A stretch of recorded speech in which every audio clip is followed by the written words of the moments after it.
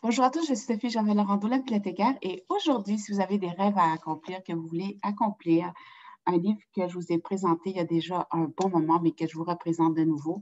Euh, c'est un livre que je vous recommande chaleureusement, c'est La magie de la liste. Alors, à l'intérieur, c'est l'auteur Yuval Abramovitz, publié chez Mazarine.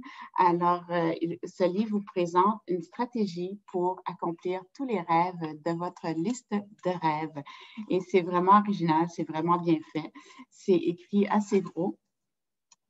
Il présente ses rêves et il présente comment il a réussi à réaliser ses, rêves.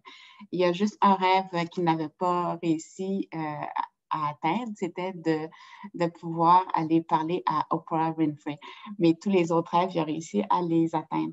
Alors, euh, je vous le recommande. Il est très bien fait. Si vous avez besoin d'un livre pour vous motiver à accomplir vos rêves, le voici.